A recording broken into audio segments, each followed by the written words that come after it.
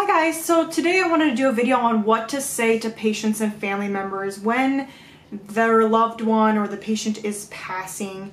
And I got this question from one of you guys. You actually asked um, me, when you send a patient off to hospice, like what do you say to the family or the patient? Because it's like you don't want to be like, good luck, because you don't want to be rude, but you want to show compassion. And um, so I thought that was a great question. I wanted to touch on a couple different aspects of this whole process situation.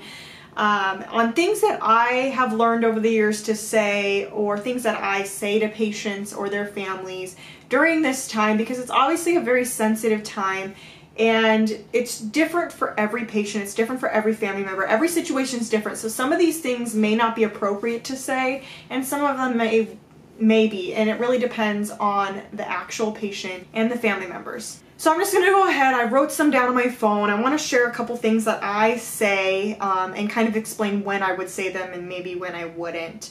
Uh, so the first thing i like to say is how can i make you more comfortable? Um, i say this a lot even to my non-dying patients, but I like to say to my patients when they're passing um, or before they pass, like, how can I make you more comfortable? What can I do for you?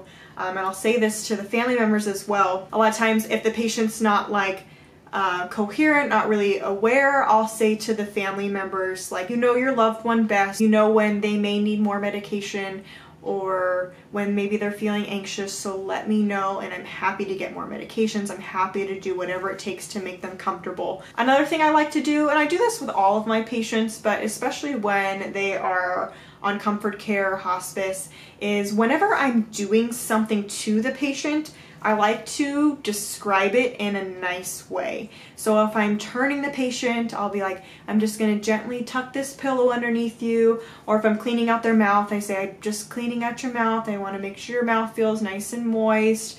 Or, you know, if I'm putting lotion on them, like I'm just wanna make sure your skin feels good. Um, so I really kind of describe what I'm doing to the patient and to the family in a very nice, compassionate way. Not that what I'm doing is hurting them at all, but just so that way it just kind of gives this overall picture of a very peaceful um, approach that I have, if that makes sense. So if I have a patient that's going to hospice, um, one thing that I'll say to them or their family members um, when I'm like kind of waving them off is like, thank you for letting me take care of you or thank you for letting me take care of your loved one. And a lot of times if I know the patient's going home on hospice and they're going to pass soon, whether that's days or weeks, I'll say like much peace to you guys in this next phase of your lives or much blessings. It kind of depends on the patient and their family. Are they religious? Are they not? You kind of have to cater your words because sometimes things may be offensive to some and not be offensive to others, if that makes sense. So when I have a patient who's passed away, um, and a lot of times I try to give the family kind of their space and let them be with the patient. But in the ICU, the patients are most of the time on the monitor, so I can kind of not guess, but I can see when they're about to pass. And I'll go in the room and I'll usually tell the family, he or she's getting very close to passing now. Um, his heart rate is slowing down. And that way they kind of know that the time is close if they wanted to say one more thing or um, do one more thing. Um, and then when the patient actually has passed, I'll go in the room, or maybe I'm already in the room, and I'll say, like, he or she's passed now, like, his heart has stopped. And it really depends on the situation. Like, sometimes you may not want to use those words. You might not want to say, the patient's heart has stopped now. But sometimes people need to hear kind of those definitive words. So every situation is different, but it's all in how you say it um, it's definitely what you say, but also how you say it is important, your tone of voice. A lot of times I will compliment the patient um, to their family, like he looks very comfortable now, or he looks very peaceful. Uh, so depending on the situation, I may say like it looks like he had a very peaceful passing. Looks like he was very comfortable when he passed away. Uh, family members really like to hear those words. They like to know that their loved one wasn't suffering during their death. I'll say this to not just my passing away dying patients, but um, just in general to most of my patients and their families because when they're in the ICU it's a tough time but I'll say things like let me know what I can do to make this process easier. Let me know what I can do to make your stay easier. I know this is a really tough time, so let me know what I can do to make it a smoother process for you. Things along those lines. Sometimes I'll say, he or she's in a better place now. It really, really, really depends on the situation, and most of the time I'll wait for the family member to say something like that because to that person, at, in that moment, they may not be in a better place. They may not, because their loved one just passed away, it may have been a traumatic thing. So it really, really, really depends on the situation.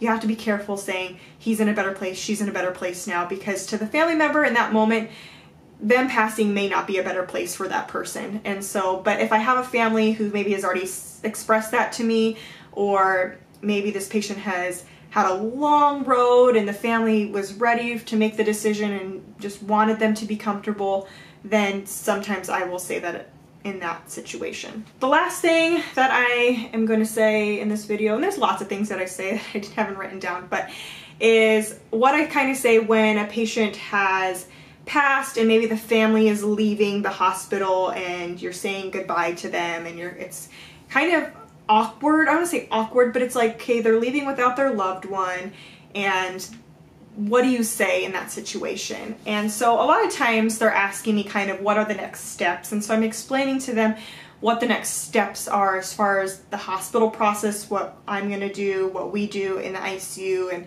transferring the patient to the mortuary or the morgue. Um, and every hospital process is different. So a lot of times I'll be explaining that. But when I'm saying goodbye, I'll usually say something like, I'm sorry we met under these circumstances, but I wish your family the best. Let us know if we can do anything else for you. And that usually is kind of just sums it up.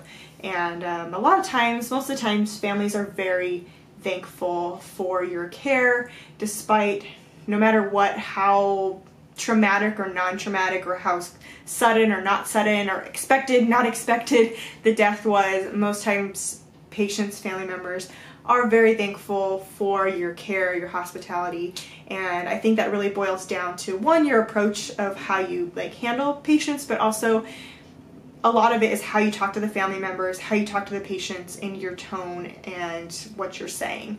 So I hope this gives you guys a couple more little insights as to what I say, what I do in certain situations. If you have any other questions, leave them down below. And if you have things to add, leave those down below as well. But thank you guys for watching this video. Give it a thumbs up, subscribe to my channel, and I'll see you next time. Bye.